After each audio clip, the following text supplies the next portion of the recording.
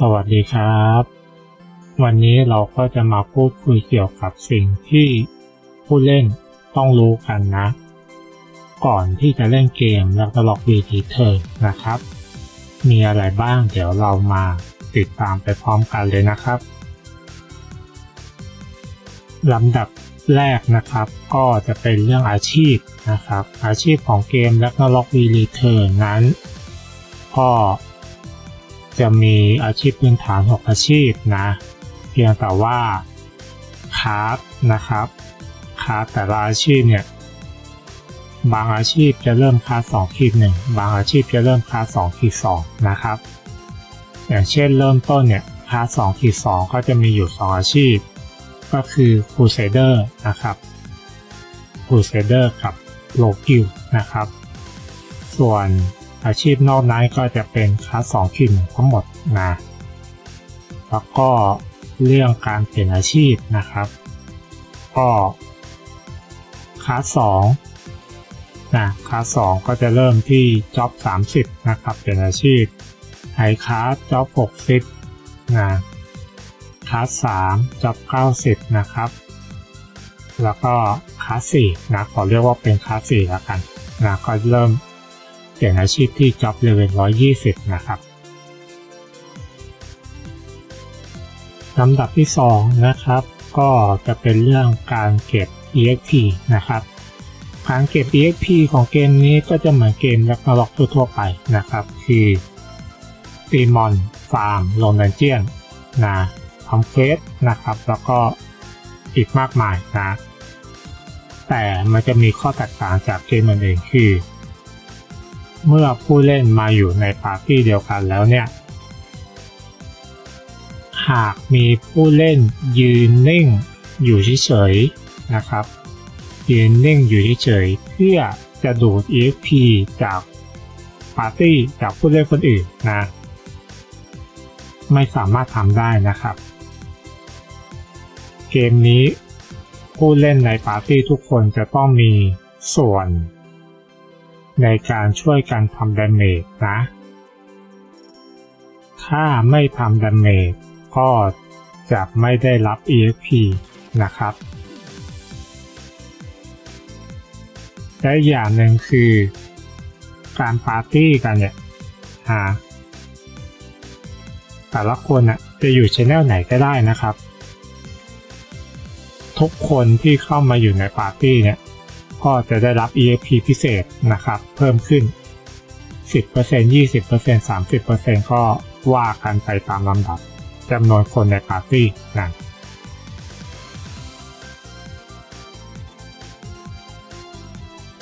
ลำดับที่ 3 นะครับ ก็จะเป็นเรื่องราวของอุปกรณ์สวมใส่นะ อุปกรณ์สวมใส่ก็ของเกมนี้จะแบ่งเป็นสีนะครับ ก็คือระดับ normal ระดับปกติ เอ่อ ระดับ ขั้น 2 ก็จะเป็นระดับ magic ก็จะเป็นสีเขียว แล้วก็อีกขั้นหนึ่งก็จะเป็นระดับแรนะครับ ซึ่งจะเป็นอุปกรณ์สวมใส่ที่เป็นสีฟ้าหรือสีม่วงนะครับ ความยากในการหานั้นมันก็แตกต่างกันนะครับ แล้วก็ คุณสมบัติของอุปกรณ์แต่ละสีเนี่ยก็จะแตกต่างกันด้วยนะครับ อย่างเช่น ยกตัวอย่างนะครับ อย่างเช่น อุปกรณ์สีขาวเนี่ย จะไม่มีค่า status ช่องท้ายสุดนะครับ ที่เรียกว่าพุลินะครับ แต่ถ้าเป็นสีเขียวเนี่ยมันจะมี status มาให้นะข้างท้ายนะครับ ก็คือเป็น status เพิ่มเติมนะนอกจากนั้นสิ่งที่ต้องรู้อีกขั้นหนึ่งก็คืออุปกรณ์สวมใส่ที่เป็นสีสีเนี่ย มันจะมี limit นะครับ limit ของการตีบวกอุปกรณ์นะ limit ของการตีบวกอุปกรณ์ด้วยนะครับ ก็อย่างเช่นสีขาวเนี่ยจะตีสูงสุดได้บวก4นะครับก็คือสเมตเนี่ยตีสูงสุดได้บวก4สีเขียว จะตีสูงสุดได้บวก8นะครับแล้วก็จะมีสีม่วงหรือสีฟ้าเนี่ยจะตีตีบอร์ดได้สูงสุดบวก 12 นะครับ มันก็จะมี กำหนดไว้ในแต่ละระดับ แล้วก็การตีบวกเกมเนี้ยจะไม่ได้ใช้อีรูโอลินะครับ จะใช้เป็นไอเทมอย่างอื่นที่เป็นของสายนะในการตีบวกนะจะไม่เหมือนเกมมันอื่นนะครับลำดับที่ 4 นะครับก็จะเป็นเรื่องเกี่ยวกับการ์ดนะครับ การ์ดในเกมนี้นะก็จะมี 3 ระดับ เหมือนกับอุปกรณ์สวมใส่นะครับ ก็จะเป็นระดับ normal ระดับ magic แล้วก็ระดับ rare นะครับเอ่อความยากของการ drop การ์ดนะ ก็ normal ก็ถือเป็นระดับต่ำสุดmagic ก็ยากขึ้นหน่อยนะครับ rare ก็ยากสุดๆนะสำหรับการ drop การ์ดระดับทั่วไปนะครับ หรือระดับ normal เนี่ย มันก็ drop จาก monster ทั่วไปภายในเกมใช่ไหมนะอัตรา drop ของการ์ดระดับ normal ในเกมเนี้ยนะผมมองว่ามัน drop ง่ายนะครับ อันนี้อ้างอิงจากส่วนตัวนะ เท่าที่ฟาร์ม monster มาอย่างเช่น ผมก็ฟาร์ม Scorpion และปัจจุบันก็มาเปลี่ยนเป็นฟาร์ม Baby Desert Wolf นะครับ อัตราการ drop ก็หนึ่งชั่วโมงก็ได้ได้หนึ่งใบ หรือไม่ก็ 30 นาทีก็ได้ได้หนึ่งใบนะครับ ก็เอ่อบางทีดวงของแต่ละคนอาจจะไม่เหมือนกันก็ได้แต่อันนี้ ผมก็อ้างอิงจากข้อมูลส่วนตัวที่ ผมสามารถบอกกราฟได้นะครับ ก็จะได้ประมาณนี้ชั่วโมงละใบนะ หรือ 30 นาทีต่อใบหนึ่งโดยประมาณนะครับ ก็ถือว่าเกมนี้การ drop การ์ดของ monster ทั่วไปเนี่ยระดับ normal ก็อยู่ใน ระดับง่ายง่ายกว่าเกมอื่นเลยแหละนะครับ แต่ถ้าจะเป็นระดับ magic ระดับ rare นั้นก็ อัตราดอกก็จะเพิ่มความยากขึ้นอีกนะครับลำดับที่ 5 นะครับ เรื่องการ up skill ของอาชีพนะครับ เกมนี้การ up skill นั้นจะแตกต่างจากเกมอื่น หรือเกม Ragnarok ที่เพื่อนๆเล่นกันนะครับ เกมอื่นๆอาจจะใช้แค่ skill point อย่างเดียว แต่เกมนี้ไม่ใช่ เกมนี้การ up skill นั้น จะมี skill bookนะครับ จะมี skill point นะแล้วก็จะมี Zeny นะครับในการ up skill แต่ละ level นะ skill book สำคัญอย่างไรนะครับ skill book ก็อย่างที่บอกไปนะ มันสำคัญที่เราจะต้องใช้ในการ up level skill นะครับ ถ้าไม่มี skill book เราจะไม่สามารถup level skill ได้นะครับ skill book จะมีหลากหลายนะครับ หลากหลายชนิดนะก็ใช้งานแตกต่างกันไปนะครับ ถ้าผู้เล่นมีอาชีพที่สูงขึ้นนะครับ อย่างเช่นอันเนี้ยผมก็เป็น Wizard ละนะครับ skill book ในการใช้ up skillของอาชีพวิสา์นะครับ มันก็จะมีการปรับเปลี่ยนนะครับ ซึ่งแต่ละ skill จะใช้ไม่เหมือนกันนะ อย่างเช่นไฟพิล่าเนี่ยจะใช้สกิล Book of Element นะครับ Storm Gust จะใช้ Book of Magic Contact จะใช้ Book of Contact นะครับ ซึ่ง skill book เหล่านี้เราสามารถหาได้จาก quest sub quest การลง dungeon นะครับ การ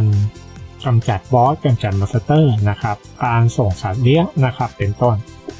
เราก็พยายามหา skill book เหล่านั้นนะครับ เพื่อเอามาใช้ up skillนะครับ มันก็ไม่ได้หายากนะ พูดตรงๆว่า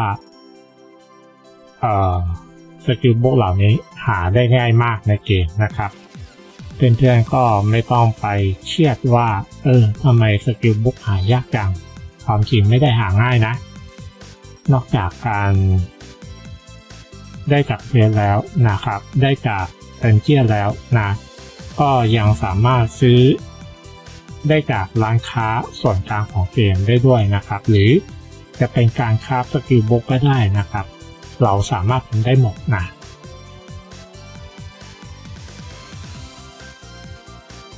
ลำดับที่ 6 นะครับ ก็คือการหา diamond นะครับสำหรับสายฟรีนะสำหรับสายฟรีนะครับ เราจะหาได้จากไหนยังไงเพื่อจะเอามาซื้อสินค้าใน Cat Shop นะครับหรือ RO Shop ของเกมนะครับ สินค้าใน Cat Shop หรือ RO Shop ก็จะมีมากมายให้เลือกซื้อนะครับ ก็จะใช้ไดมอนด์ในการซื้อ มากน้อยแตกต่างกันไปนะ ถ้าใครอยากจะเร่ง อยากจะรีบนะครับ ก็แนะนำซื้อ ruby เหล่านี้เอาไปเปลี่ยนเป็น diamond นะครับ ถ้าใครอยากเร่งรีบในการหานะในการใช้งานนะแต่ถ้าสำหรับสายฟรีเนี่ยมันก็จะมีวิธีหาง่ายๆนะครับ ก็คือเนี่ยเราทำภารกิจ mission เหล่านี้นะครับ Daily Weekly เนี่ยครับ สัปดาห์หนึ่งเราจะได้ diamond ประมาณ 2,500 ไดมอนด์ต่อสัปดาห์นะครับ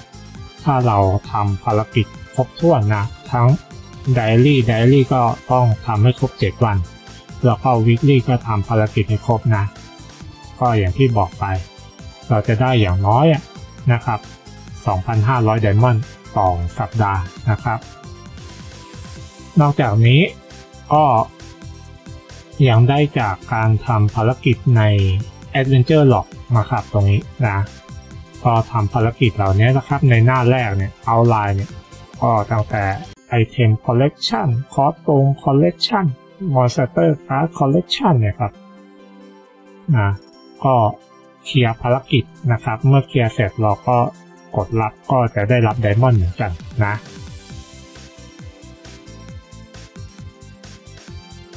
ลำดับที่ 7 นะครับ เป็นสิ่งที่ผู้เล่นรอคอยนะครับ นั่นก็คือการตั้งร้านค้านะครับ เกมนี้ผู้เล่นทุกคนทุกอาชีพ สามารถตั้งร้านค้าได้ด้วยตนเองนะ แต่มีข้อแม้นิดนึง ตัวละครของผู้เล่นต้องมีเลเวล20 นะครับ ถึงจะสามารถตั้งร้านค้าได้นะ เมื่อตัวละครเลเวล20 แล้วนะครับ ระบบก็จะปลดล็อกคำสั่ง private private shop ตรงนี้นะนะครับ ถ้าเราอยากจะตั้งร้านค้านะก็เข้าที่ private shop นะครับ เมื่อเข้ามาแล้ว มันก็จะมี 2 รายการให้เราเลือกนะ 1. คือ Market Forum Market Forum คืออะไร เป็นที่รวบรวมสินค้าของผู้เล่นในเกมทั้งหมดนะครับ ที่ทำการตั้งร้านขายของอยู่มาอยู่ใน Market Forum ส่วน 2 Create Store นะครับก็ ก็คือเป็นการตั้งร้านของผู้เล่นเหล่านั้นนะครับ ใครอยากตั้งร้าน ก็เข้ามาที่ Create Store แต่ทีนี้เราไปดู Market Forum ก่อนนะ Market Forum มีอะไรบ้างนะครับ ก็ตามที่เกินไปเบื้องต้นนะครับ ก็จะมีสินค้าที่ผู้เล่นในเกมทุกคน ตั้งร้านเอามาขายนะครับ มันก็จะมีมากมายนะ เหล่านี้นะครับ เราก็สามารถค้นหาได้นะ ตามตามหัวข้อนะครับ อาวุธ armor accessory monster card นะ ถ้าเราหาสินค้านั้นไม่เจอเราจะต้องทำอย่างไรนะครับ ก็เข้ามาที่เสิร์ชตรงนี้นะ ช่องเสิร์ชด้านล่างนี้นะครับ แล้วก็พิมพ์ keyword keyword สินค้าที่เราจะต้องการค้นหานะครับนะแต่มันมีข้อแม้นิดนึงนะในการพิมพ์ keyword นะครับ ผู้เล่นจะต้องพิมพ์ตัวอักษรพิมพ์ใหญ่พิมพ์เล็ก ให้ถูกต้องนะครับ ไม่ว่าจะพิมพ์ 3 ตัว 4 ตัว ก็ต้องพิมพ์ให้ถูกต้องนะ เพราะว่าถ้าพิมพ์ไม่ถูกต้องเนี่ยระบบ มันก็ไม่สามารถค้นหาสินค้าให้ได้นะครับเนี่ยอย่างเช่นเนี้ยผมพิมพ์ไม่ถูกต้องเนี่ย ระบบก็ไม่สามารถค้นหาให้ได้นะ สำหรับในส่วน Market Forum นี่คือผู้เล่นอยากซื้ออะไรก็คลิกเข้าไปซื้อได้เลยนะครับนะถ้าเราพอใจสินค้าราคาถูกราคาแพงเราก็กดซื้อได้เลยทันทีนะครับอย่างเช่นนี้ก็เราสามารถกดซื้อได้เลย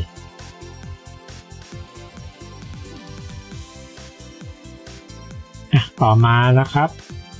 เราก็มาทำความรู้จักกับ Key Store กัน Key Store ก็คือ การตั้งร้านขายของนะครับ การตั้งร้านขายของ มีข้อดีคือผู้เล่นทุกคนตัวอาชีพ สามารถตั้งร้านด้วยตัวเองได้นะครับ เพียงแค่ เสีย 50เดมอนต่อการตั้งร้านหนึ่งครั้งนะครับ การตั้งร้านหนึ่งครั้งนั้น จะอยู่ได้ 24 ชั่วโมงนะครับ เมื่อครบ 24 ชั่วโมงแล้ว หากมีสินค้า ขายไม่หมด สินค้าเหล่านั้นก็จะถูกส่งไปยังกล่อง mailbox ในตัวละครนะครับ ผู้เล่นก็ไปรับสินค้าคืนได้ที่ mailbox นะครับ เราก็กดเข้าไปนะครับ อันนี้ก็เป็นหน้าตาที่ ผมได้ทำการตั้งร้านขายสินค้าไว้แล้วนะ การตั้งร้านเกมนี้ มันมีข้อดียังไงนะครับ ก็ข้อดีของมันคือเรา หรือผู้เล่นทุกคน สามารถตั้งราคาสินค้าได้ด้วยตนเองนะครับ เกมนี้จะไม่มีราคากลาง เป็นตัวกำหนดนะครับ ผู้เล่นอยากจะตั้งหนึ่งเซนี่ร้อยเซนี่พันเซนี่ล้านเซนี่สิบล้านเซนี่หรือหนึ่งไดมอนด์สิบไดมอนด์ร้อยไดมอนด์พันไดมอนด์ผู้เล่นก็สามารถตั้งได้นะครับ คือตั้งได้ตามใจฉันเลยนะ มันก็ทำให้ผู้เล่นทุกคนก็เออ มันก็ดีนะ ที่เราสามารถ กำหนดราคาได้ตนเองได้ด้วยตนเองนะครับอะอันนี้ก็จะเป็นหน้าตา หน้าตาสินค้าที่ผมตั้งขายอยู่นะนะตอนนี้นะ ก็จะมีประมาณนี้นะครับ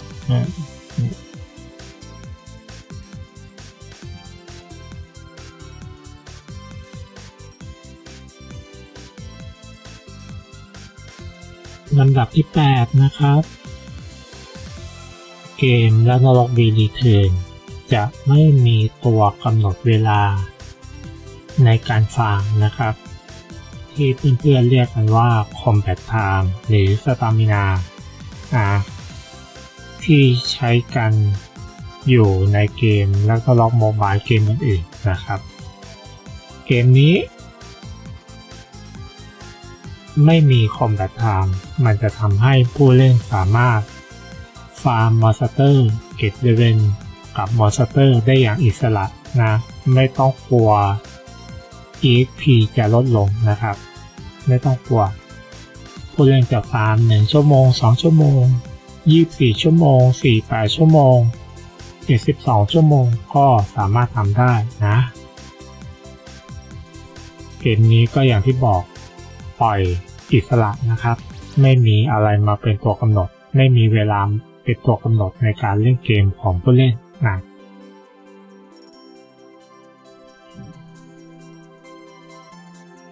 ก็จบกันไปแล้วนะครับสำหรับสิ่งที่ต้องรู้นะครับก่อน ที่จะเข้ามาเล่นเกมล้วก็ล็อกวีรีเทิร์นะครับ หวังว่าข้อมูลเล็กๆน้อยๆนะจะเป็นประโยชน์ต่อผู้เล่นใหม่ทุกคนนะครับ ใครที่อยากเล่นนะครับ ก็ขอให้เล่นเกม แล้วนล็อกวีรีเทิร์นด้วยความสนุกสนานนะครับ เรากลับมาพบกันใหม่ในครั้งต่อไปสำหรับวันนี้ สวัสดีครับ